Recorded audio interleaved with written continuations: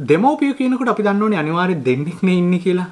නමුත් දැන් මේ විද්‍යාව තුළ සිද්ධ වෙන මේ අලුතෙන් හොයා ගැනීම එක්ක බලද්දී තව කාලයක් වෙද්දි දෙමව්පියෝද ත්‍රිමව්පියෝද කියන එක තරමක් ගැටලුකාරී වෙන්න පටන් අරන් තියෙන්නේ. දෙමව්පියෝ කියද්දි දෙන්නයි ඉන්නේ. නමුත් දැන් ත්‍රිමව්පියෝ කියන්න ඔන්න අවස්ථාව සැලසලා තියෙනවා සමහර දරුවන්ට. මොකද්ද මේ පළහිලව්ව? කතා කරමු ඒ ගැන.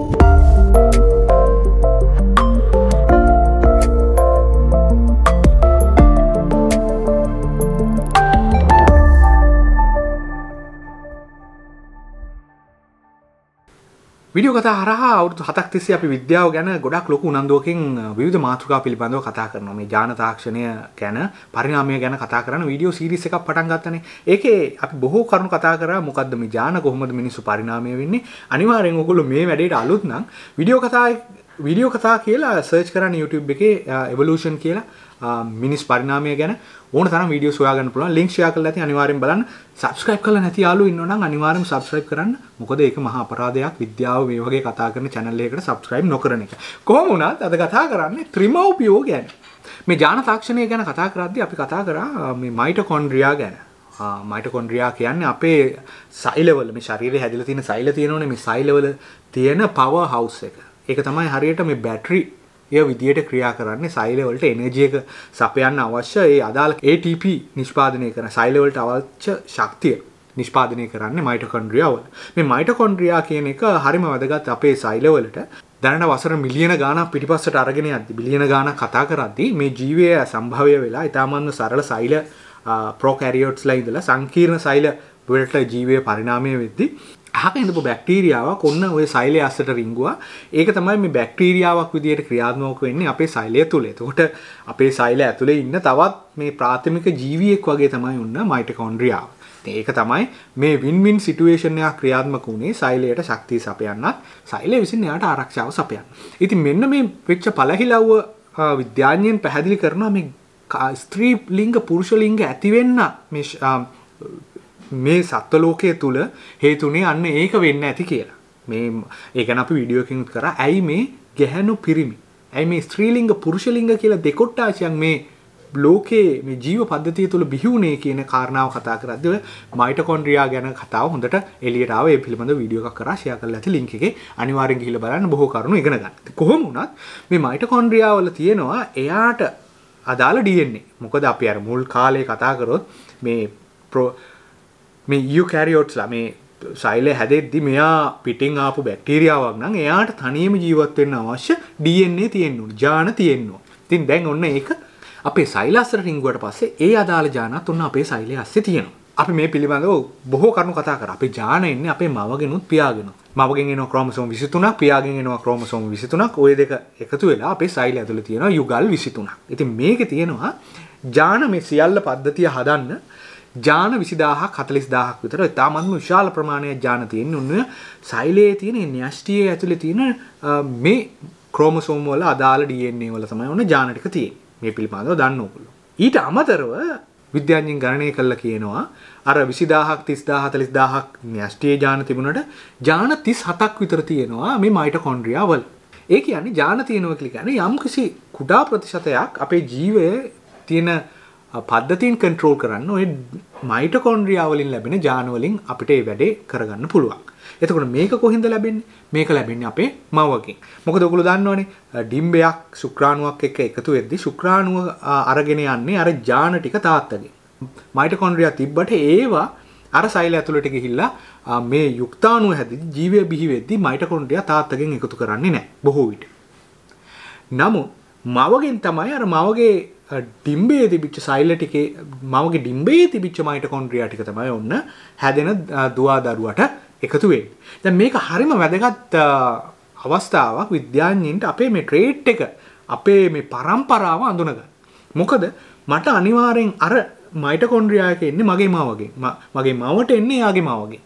න්‍යෂ්ටියේ තියෙන ජාන ට්‍රැක් කරත්තේ මවගෙනු පියාගෙනු මික්ස් වෙලා එන එක රැන්ඩම්ලි සිද්ධ වුණාට අනිවාර්යයෙන්ම විද්‍යාඥයින් දන්නවා මේ මයිටොකොන්ඩ්‍රියා වල තියෙන DNA එන්නේ මගේ මවගෙන් කියලා. ඒ මවට ආවේ මවගේ මවගේ. එතකොට මේ මව් පැලැන්තිය ට්‍රැක් කරගෙන පිටිපස්සට යන්න මේ මයිටොකොන්ඩ්‍රියා වල තියෙන DNA හරිම වැදගත්. මේ මයිටකොන්ඩ්‍රියාවල තියෙන DNA අඳුනගෙන පුළුවන් අපි කොහේ පරම්පරාවේ මොන ලෝකෙ කොයි දීපංකරෙන් ආපු මිනිස්සුද කියලා හොයාගන්න.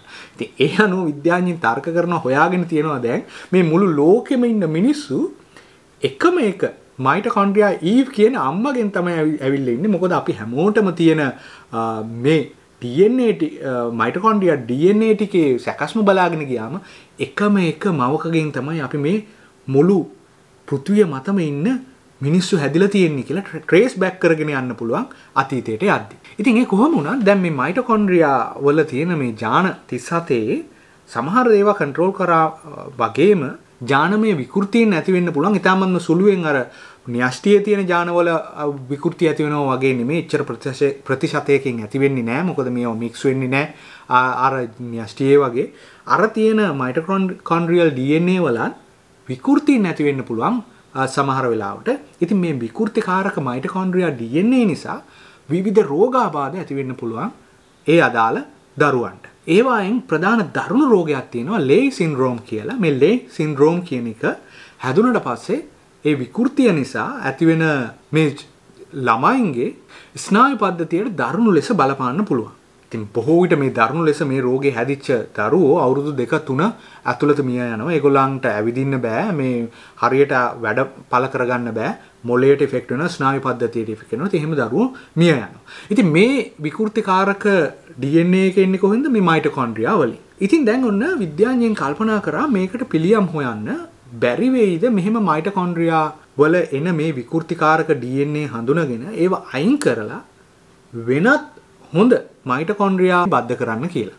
ඉතින් මේ පිළිබඳව පරීක්ෂණ ආරම්භ කරා ආසුවේ මැදභාගයේදී වෙද්දී මේ තාක්ෂණය හඳුනගෙන තිබ්බේ මේ තුන් මව්පිය වැඩෙන් පුළුවන් මේක ගොඩ දාන්න කියලා. උදාහරණයක් විදිහට මේ මවගෙන් එන මයිටොකොන්ඩ්‍රියා වල තිබුණොත් මේ විකෘතිකාරක ජාන අඳුනගත්තොත් මේ විද්‍යාඥයින්ට පුළුවන්කම ලැබෙනවා වෙනත් ඩෝන කෙනෙක් වෙනත් දායකයෙක්ගෙන් ගන්න මයිටකොන්ඩ්‍රියා ඩ මයිටකොන්ඩ්‍රියා අර මවගේ සයිලට ඇතුල් මේකට විවිධ ක්‍රම පාවිච්චි කරන උදාහරණයමතර එක්‍රමයක් තමයි මවගේ ඩිම්බ සයිලයක් අරගෙන මේක පියාගේ ශුක්‍රාණුවත් එක්ක මුහුන් කරලා මේ යුක්තාණුව හදාගෙන එතකොට මේ යුක්තාණුවේ තියෙනවා අර විකෘතිකාරක DNA තියෙන මයිටකොන්ඩ්‍රියා. ඒ වගේම තමයි ඩෝන කෙනෙක්ගෙන් වෙනත් කාන්තාවකගෙන් ඩිම්බ සෛලයක් අරගෙන ඒකට පියාගේ ශුක්‍රාණුවක් මුහුන් කළා. දැන් ඒ දෙකම ඔන්න දැන් යුක්තාණුව සංසේචනය වෙලා තියෙන්නේ. මේ යුක්තාණුව මේ යුක්තාණු දෙකෙන් අර ඔරිජිනල් මවගේ යුක්තාණුවේ තියෙන විකෘතිකාරක DNA ඊළඟට කරන්නේ අර ප්‍රධාන මව්පිය යුගලගේ තියෙන යුක්තාණුවේ න්‍යෂ්ටිය අරගෙන අර අනිත් යුක්තාණුවේ න්‍යෂ්ටිය ඉවත් කළා. ඒකට ෆියුස් කරන එක න්‍යෂ්ටිය. ඊළඟට මේ ප්‍රෝසෙස් එක අනුව අර ඩෝනගෙන් හම්බ වෙච්ච ඩිම්බ සෛලයේ තිබිච්ච මයිටොකොන්ඩ්‍රියා ටික තමයි අර දරුවා හැදෙන්න බලපාන යුක්තාණුවේ තියෙන. ඉතින් ඕක එක සොලියුෂන් එකක්. ඉතින් මේකට බොහෝ අය කැමති නැහැ. මොකද මේ ආගමික මත නිසා මෙහෙම හුටස්පරයකුත් වුණා මේ පළවෙනි මේ ත්‍රිමෞපියට දාව උපදුණු දරුවන් හදද්දි මොකද ඒ ඒ දරුවන්ගේ දෙමව්පියෝ යම්කිසි ආගමකට සම්බන්ධ නිසා ඒගොල්ලෝ කැමති වුණේ නැහැ අර යුක්ත එක යුක්තාණුවක් විනාශ වෙනකොට ඒක නිසා දෙවනි ආකාරයේ ක්‍රමයකට ගියා.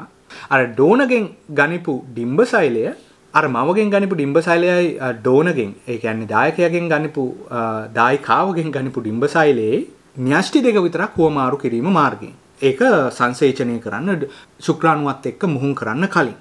මවගෙන් ගනිපු ටිම්බසෛලයේ න්‍යෂ්ටි අරගෙන දායකයා දායකාවගෙන් ගනිපු ඩිම්බ සෛලයේ න්‍යෂ්ටිය ඉවත් කර ඒකට ෆියුස් කරනවා. ඊට පස්සේ තමයි ඔන්න සංසේචනය කරන්න පියාගේ ශුක්‍රාණුවේ.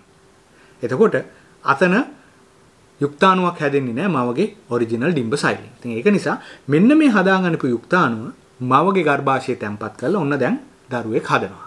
දැන් මේක පළමුව වතාවට කරා මෙක්සිකෝ වල දෙදස් දාසේදී ඉතින් මේ පිළිබඳව ලොකු කතා බහක් ඇති වුණා විද්‍යාව තුළ. මේක කරන්න හොඳද නරකද කියන එක.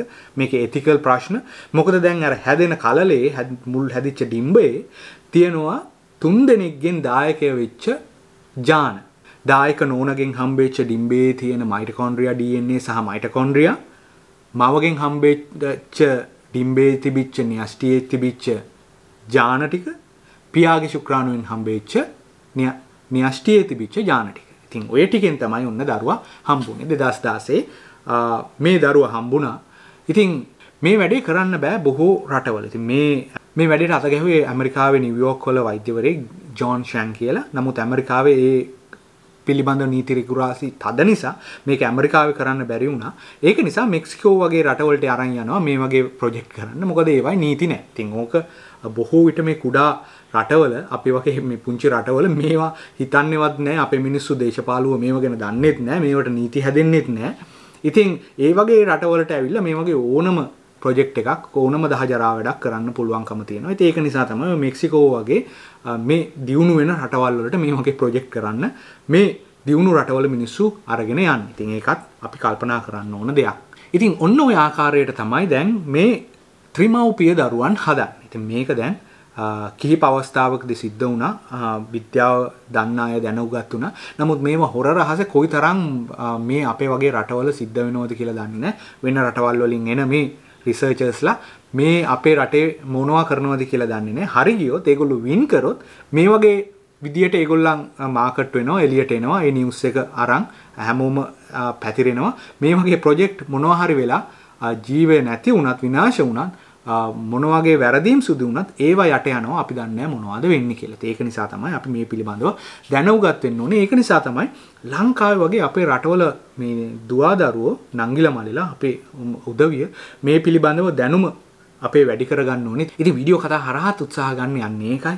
අපේ ඊළඟ පරම්පරාවට මේ දැනුම අරගෙන ඇවිල්ලා මීට වඩා ස්ටෙප් එකක් ඉස්සරහට ලංකාව අරගෙන යන්නේ. අනාගතයේදී හරි මේ වගේ දේවල් වලට වැට කඩලු බැඳිලා රට තව දුරටත් විද්‍යාව තාක්ෂණය පිළිබඳව දියුණු වෙනවා මේ වගේ දැනුමින් පොහොසත් වෙච්ච දරුවෝ පරම්පරාවක් අනාගතයේ හැදිද්දී. බොහෝ දේවල් කතා කරන්න තියෙනවා ඉස්සරහට ජාන තාක්ෂණය පිළිබඳව. මොකද්ද මේ ක්‍රිස්පර් තාක්ෂණය? මොකද්ද මේ ජෙනටික් එඩිටිං? මොකද්ද මේ GMO? මේවා ගැන බොහෝ කරුණු අපි කතා කරනවා. ඉතින් බොහොම ස්තුතියි මේ වීඩියෝ එක බැලුවට. කමෙන්ට් දාන්න, ලයික් දාන්න යාළුවන්ට බොහොම ස්තුතියි. කතා කරන්න මේ ඉස්කෝලේදී අනිත් යාළුවොත් එක්ක ගිහිල්ලා මම සම්පත් වීඩියෝ කතා එකේ